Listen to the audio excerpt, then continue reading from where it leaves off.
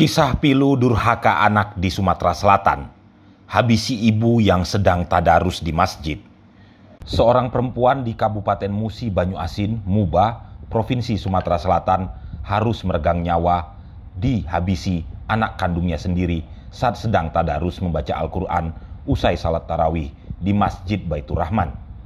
Korban bernama Siti Fatona, 56 tahun, sementara anaknya Muksin, 36 tahun, warga Desa Letang, Kecamatan Babat Supat, Kabupaten Musi Banyu Asin.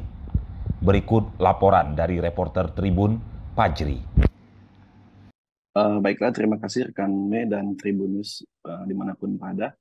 Perlu kami informasikan kejadian tersebut bermula saat uh, korban Siti Fatona sedang tadarus di Masjid Baitur Rahman.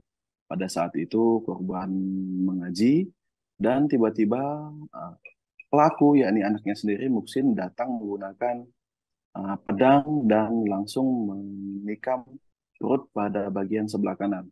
Uh, setelah melakukan penikaman tersebut, korban sempat uh, meminta tolong kepada sang suami, di mana sang suami sendiri saat itu tidak jauh berada dari lokasi. Sang suami sendiri langsung lantas mendatangi lokasi penusukan tersebut dan mencoba menolong sang istri, namun uh, ikut dibacok oleh Muksin. Namun bacokan tersebut uh, tidak mengenai secara langsung sang ayah. Usai melakukan pembacokan, pelaku langsung menuju ke diamannya. Selanjutnya, masyarakat dan dibantu pihak kepolisian melakukan penangkapan terhadap uh, pelaku. Namun pada saat melakukan penangkapan pelaku, pelaku mencoba melawan karena saat itu masih memegang senjata tajam jenis pedang dan mencoba mencoba melukai pihak kepolisian. Akibatnya pihak kepolisian uh, mengalami luka pada kaki kanannya.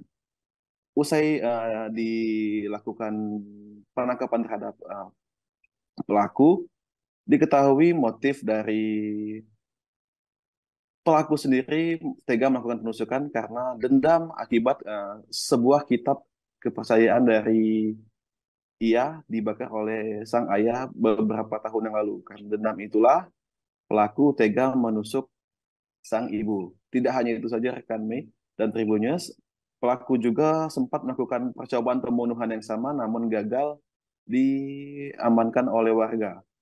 Akibat penusukan yang terjadi, uh, Siti Fatona ibunya meninggal dunia akibat luka tusukan yang ada, sedangkan korban sendiri juga mengalami depresi karena uh, melakukan pembenturan kepala ke dinding penjara. Sehingga pada saat dilakukan dievakuasi ke rumah sakit Sungai Lilin, korban pelaku ulangi pelaku juga meninggal dunia akibat uh, membenturkan kepala ke dinding. Demikian rekan nih.